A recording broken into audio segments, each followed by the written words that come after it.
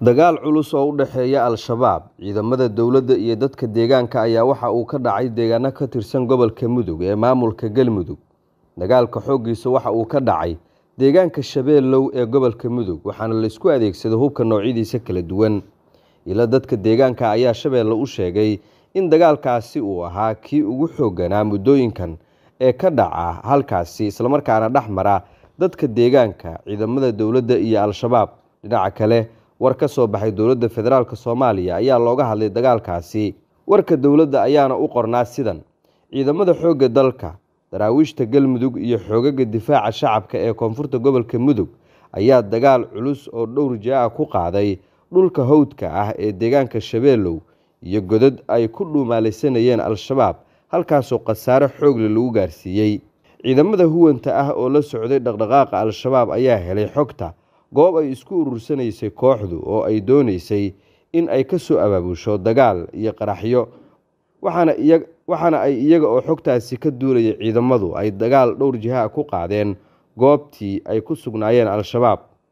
Taliye Axmed Dhiblaawe oo ka mid ah saraakiisha ciidamada ee howlgalkaasi hogaaminayay ayaa Shabeelle u sheegay sidan: dee dagaal hadduu dhaco khasaare wuu yimaadaa laakiin boqolkiiba boqol siduu ugu talagalay buu u dhacay wax dhiba iyo wax culays oo gaarna ma jiraan. Cadowgana goobihii lagu weeraray waa laga saaray. Waxaan rajaynayaa haddii ilaahay idmo xilli aan warbixin saxa bixin karno oo aan gobodkii joogno oo tiifiyada iyo warbaahintuna ay intii carada la seebgaray ay imaan karaanna inaan bixino warka bulgaarkiisa haddana si guud xaaladdu waa degan tahay. Cadowga waa laga saaray goobihii galabta dagaalku ka dhacay. Boqolkiiba boqolna ciidanka qalabka sida soomaaliyeed iyo kuwa deegaanka iyo dadka shacabka ah oo isku duuban waxay gaareen hadaf ay wax badan ay ku aaminayeen inay gaaraan. Waktigaan aniga kaala hadlayo goobtii dagaal ka dhacay galabta nin dee dagaal culusaa meesha ka dhacay xilli qorax gaabana wixii waa la isku habeen madoobaystay kolley dee difaacyadoodii baan joognaa oo meydadkoodii baa yaalla oo gadaal baan u riixnay.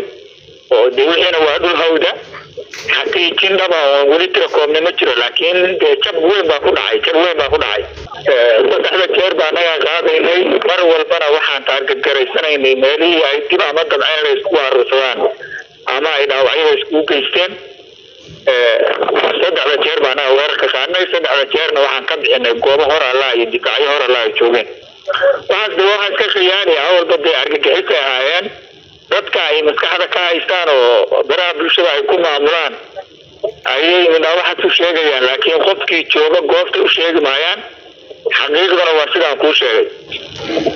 Ma jiraan saraakiil dowladeed hadda ama xilal haystay ama magacyo gaara leh oo aan ognahay dhimashadoodu. Laakiin dee dagaal baa dhacay khasaare wuu iska jiraa. Mana badna khasaaruhu oo dee dad tabay oo saf ku dhacay meesha kama jiro dad guulaystay oo dagaal gala waa meesha jooga